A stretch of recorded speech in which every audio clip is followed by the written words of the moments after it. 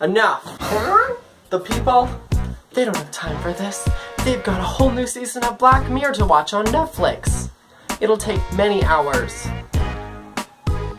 Many. That's why I'm here, to cut through the noise five minutes or less.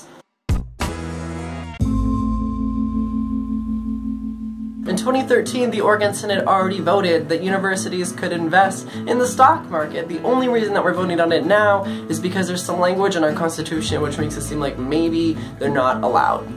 That's, we're just clearing that up. Voting yes on Measure 95 means public universities can invest in the stock market, and voting no on Measure 95 means that they maybe, probably, can't, maybe. Either way, they've been doing it for three years already.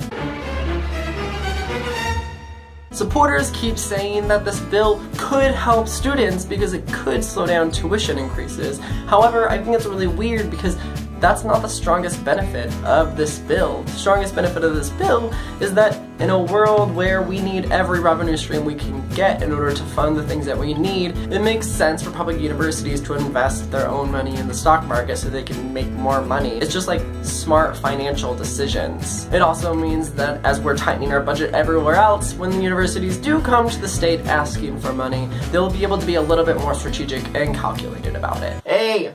We have enough to cover half of one new building. Do you want to cover the other half?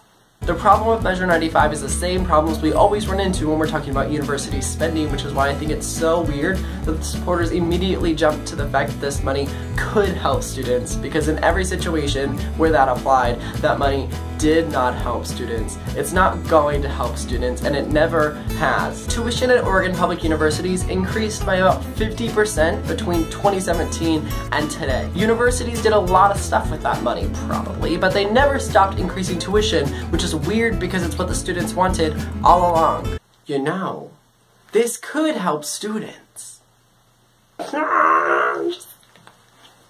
I'm just kidding. Hey, Mike, let's raise that tuition. When it comes to the actual logistics of investing, Measure 95 gets even worse because first of all, there's no policy in place making sure that our universities don't invest in things that are directly opposed to their values and purposes for existing. We should invest in fossil fuels because they're destroying our students' communities and making the future a shitty place even though we exist to make the future a better place. That is a great idea. We should also invest in private prisons, the school-to-prison pipeline, and then let's wonder why we don't have students of color at our school gets me really worked up. Can we just raise the tuition a little bit? Second of all, we're not even going to be able to know where those investments are because universities are historically as transparent with their investments as your douchebag's neighbor's tinted windows. Number three is that universities don't spend the money that they make in revenue from investing. They just keep on investing until...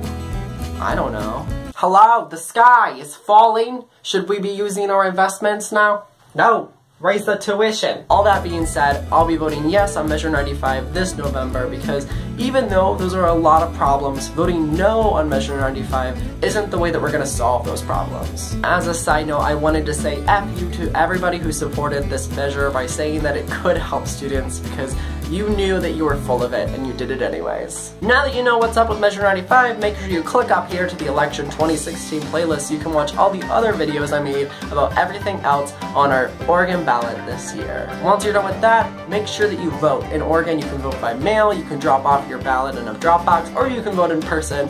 However you do it, though, it has to be done by 8 p.m. on November 8th, and you can find out the nearest location to you by googling Vote Oregon, and there's a handy little toolbar made just for you. As always, thanks for watching, and if you liked it, make sure you give it a thumbs up. And if you think of any ideas to make it even better, make sure you put it in the comments because I'm doing this for you. And as always, make sure you subscribe and tell your grandma. Bye. What if we took our money, we invested it back into our communities? Investing in our communities.